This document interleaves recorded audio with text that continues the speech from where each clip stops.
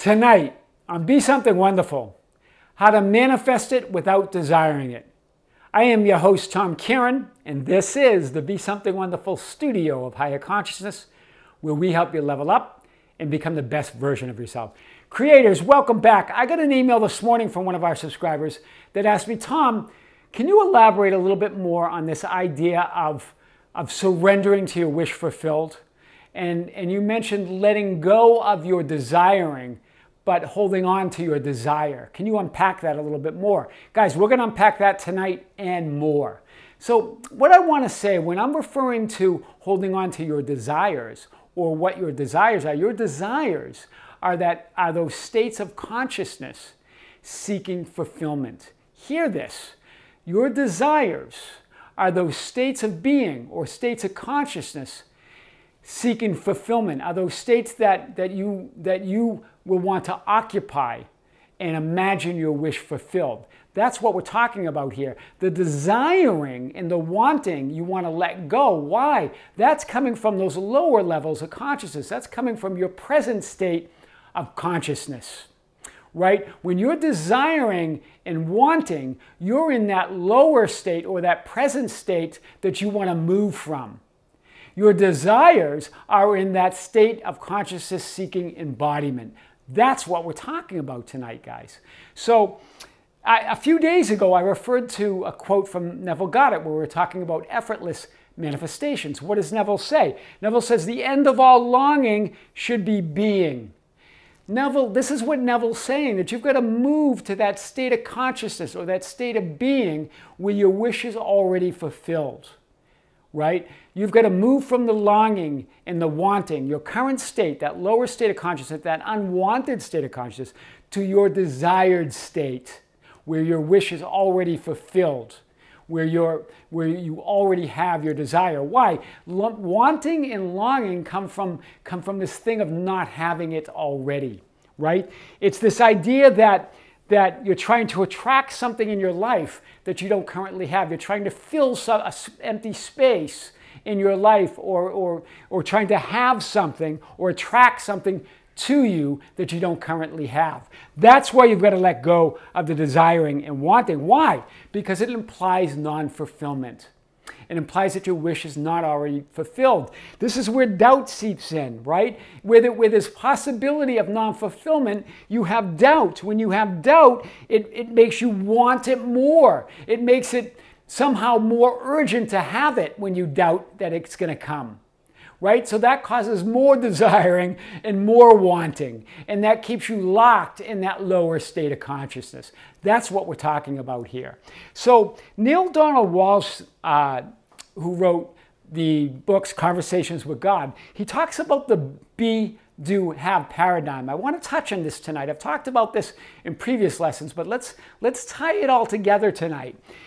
Neale Donald Walsch says, you do not have to do anything, right? For those of you that keep wanting to do something, right, wanting to have it, right, you're, you're, you're more focused on having something than moving to a state of being something. Hear this because it's in the state of being that you can have it all. But yet you're, you're, you're focused on the having and not the being, right? Neale Donald Walsch says you don't have to do anything. It's all a question of what you are being. It, when you are focused on moving to that state of consciousness or that state of being, it's in the bag. It's in the bag. You have it all.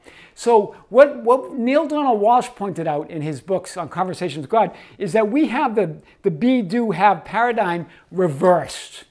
We, focus, we think that the havingness will produce the beingness. If I only have my SP, if I only have that specific person in my life, I will be happy and then I'll be able to do all the things I want to do. Or if I only have that, that, that money or that time, I'll be able to do the things I want to do, and then finally I'll be happy, secure, and, and abundant, right? You've got to go directly to being, and then you can do and have whatever your heart desires, right? You've got to move to that higher state of consciousness.